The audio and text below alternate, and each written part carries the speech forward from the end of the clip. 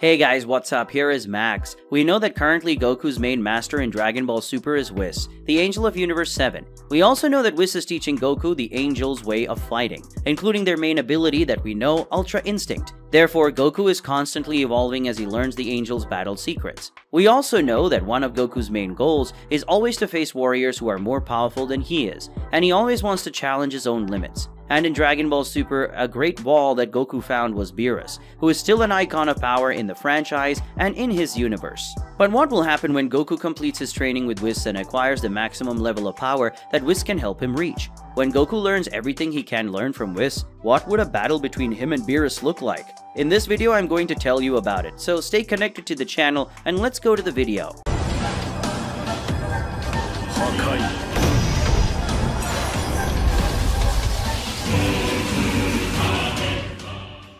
Goku and Whis were training in a parallel dimension the Angel took them to. In that dimension, a combat took place, but this combat was a little different from the ones that used to happen between them. It was a much more serious combat. Goku was using his own version of Ultra Instinct which he learned while fighting Gas, but there was something different about him in this fight. Goku was releasing an unnatural amount of power, and as a result with each of his blows, the whole world shook. Usually Whis faced Goku with so much calm that it even seemed like it was indifferent. But this time it was different. Whis kept his calm personality as always, but this time the angel was much more serious and attentive. Watching his disciples' every move, Goku was also very serious. He felt that there was something different in that fight, as if he felt that he was very close to achieving something that he didn't know what it was. Goku puts even more intensity into his movements, delivering blows with more frequency, speed, power, and precision. Goku feels his body vibrate and burn from the inside. He noticed that Whis was getting a little more serious too, and now he seemed to have to work a little harder to dodge his punches.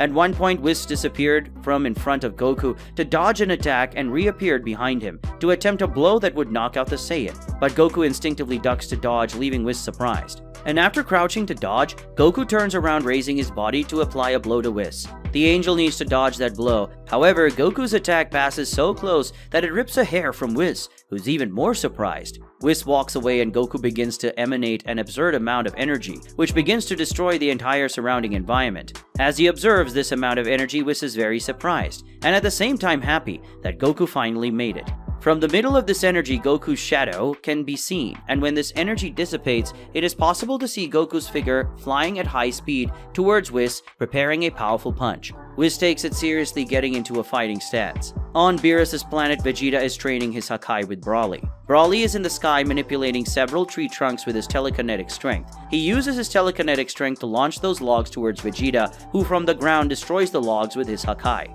Cheelai, Lemmo, and Beerus watch from afar. Cheelai is sitting, bored, Beerus is lying in a chair, and Lemmo is next to Beerus, serving him a bunch of grapes, like a true servant. Cheelai asks what the point of this training is. She finds it very boring to watch and also it makes a lot of noise.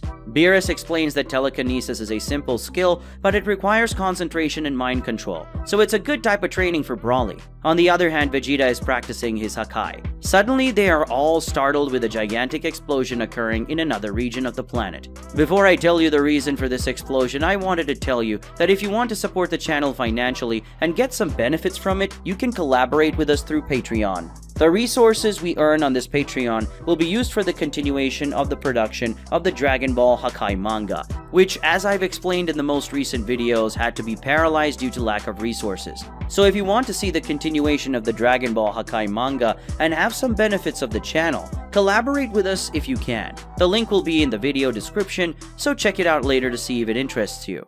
Continuing with the story. The reason for that explosion was that the dimension Goku and Whis trained in was destroyed, and so Whis at the last moment opened a portal to take them back to the Beerus planet. But a part of that explosion ended coming along. Whis was protecting himself and Goku in an energy shield, so they land safety on the planet's ground. Goku is in his base form and badly injured, and this time even Whis had a few scratches and dirt on his clothes. In just a second, Whis magically heals Goku and restores his clothes. After that, they start talking about what happened, and Goku tells Whis everything he felt and asks if he can explain what it is. Whis begins to explain, telling Goku that the form he reached right now is simply the ultimate Ultra Instinct, the final stage of Ultra Instinct that only Daishinkan had achieved. Goku is completely shocked hearing this and asks what this ultimate Ultra Instinct is and how he reached such a level. Whis starts to remind Goku about the concepts of Ultra Instinct. First he talks about the first concepts, which were to keep the mind calm and empty, letting only the body act on instinct. These are the concepts of the Ultra Instinct that he and the other angels use. Afterwards, Whis talks about the concepts of Goku's true Ultra Instinct, which is the form of the Ultra Instinct technique that he himself developed by accepting his own nature. And then Whis finally explains that the ultimate Ultra Instinct that Goku achieved was the merging of these two concepts. Goku has mastered the common Ultra Instinct of angels, which is to let his body obey its most natural instincts. On the other hand, Goku also mastered his own Ultra Instinct, which he developed by accepting his own nature and personality. Understanding and mastering these two forms of instinct led him to the ultimate Ultra Instinct, which is the purest form of the instinct. Goku asks why the angels couldn't achieve this instinct, as he said that only Daishinkan has this technique. Whis explains that angels live a life of completely rigid rules that dictate how they should act. In this way, an angel, like him, cannot live the way he wants to, but the way he should live, and this makes it difficult for him to understand himself. The ultra instinct that angels dominate is the result of their neutral lifestyle, which makes them disconnected from feelings. On the other hand, the fact of living a life with such strict rules and having to always behave according to those rules makes it very difficult for angels like him to know their own nature and develop their own ultra instinct style like Goku. In other words, for Whis to reach the form that Goku has, he would need greater knowledge about himself and this true nature, but he cannot do that living the way he does.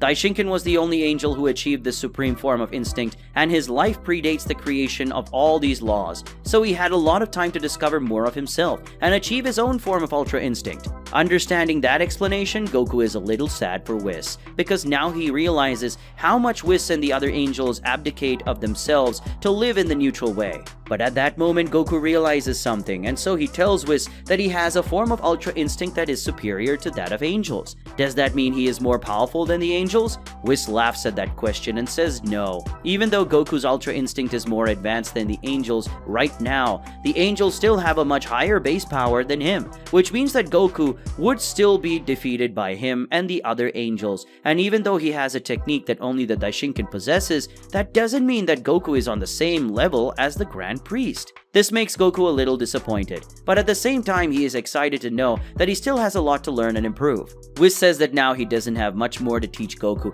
and Goku will need to learn more about his new power and evolve. Their conversation is interrupted when Beerus, Vegeta, and Broly join them. They are curious about what happened. Goku and Whis explain the whole situation and knowing what happened causes different reactions in them. Broly is very curious about Goku's new power. Vegeta is very angry when he learns that Kakarot was once again distancing himself from him in power. And Beerus gets very serious and tense.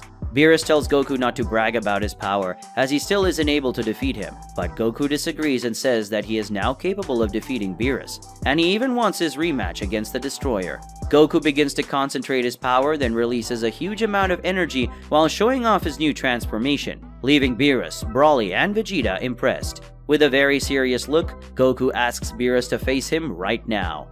So guys, how is this battle going to be between Goku and his new angelic transformation and Beerus? If this video gets a relevant amount of likes, comments, views, and new subscribers, I will bring you part 2, okay? And then we'll know what this fight would be like. Until next time, goodbye.